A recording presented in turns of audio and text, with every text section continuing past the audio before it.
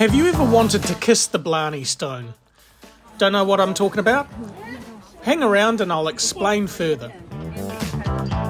We're off on a trip of a lifetime to Albania and Uzbekistan and lots of places that aren't in between.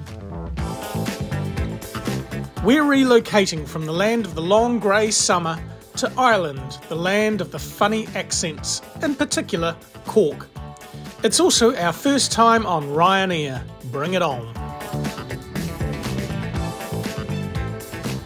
Cork is the third largest city on the Irish island after Dublin and Belfast and is located near the southern coast. Uncle Google says it has a metro population of just over 300,000 people. The Vikings and the English have all trampled through here, and I'll talk more about the English a little bit later. We really enjoyed wandering around the city. It feels a bit brighter than English cities with multicoloured houses sparkling in the on again, off again sunshine. But we were just happy to have some on, to be honest.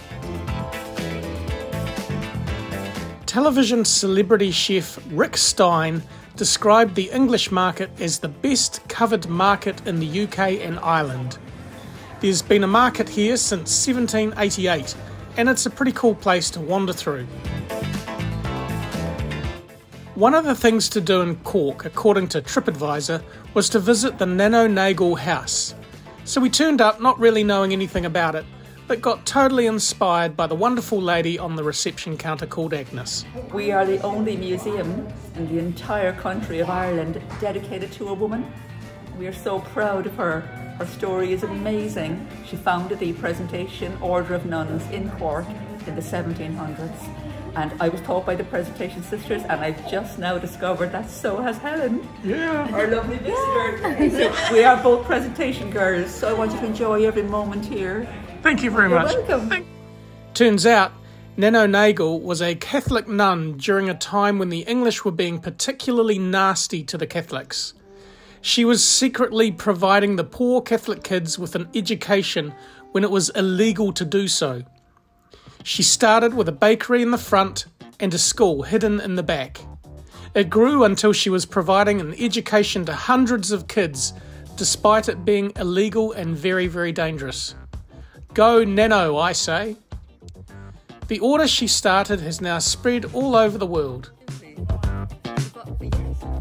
Not something I expected to see in Ireland.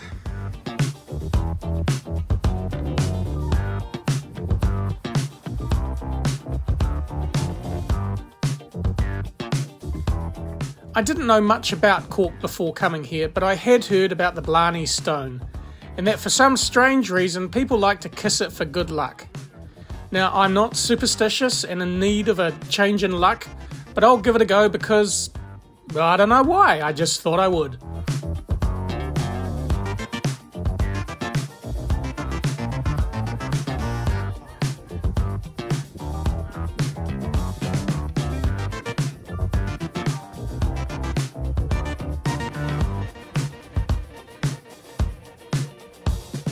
So, Blarney Castle on a finish afternoon, and the queue took around about an hour, but we eventually got to the top.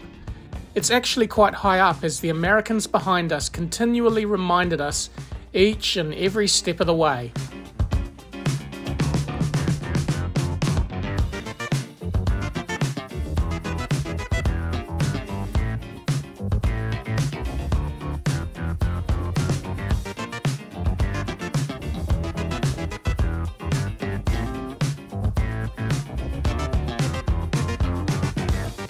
It's really difficult to contort your body into a position where you can kiss it.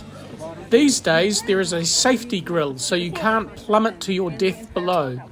But there was a split second where I thought I could potentially lose my balance and fall over backwards and down.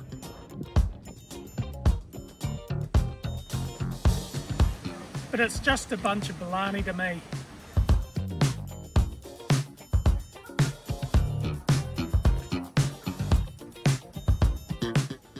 This is the indoor toilet.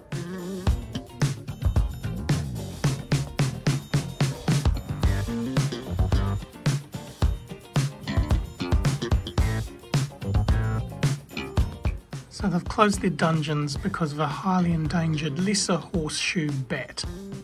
How inconsiderate of the bat.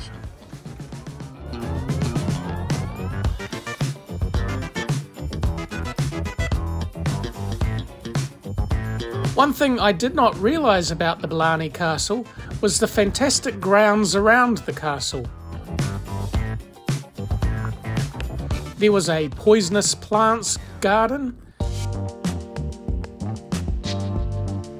a fern garden,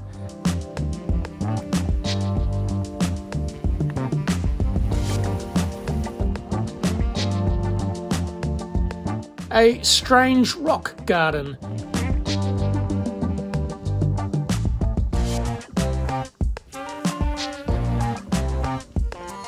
and an old ice house built in the 1600s. Apparently, they used to harvest ice from lakes and ponds in winter and then store the ice below ground through into the summer, and it would still largely remain frozen, enabling them to have ice in summertime. Quite ingenious, really.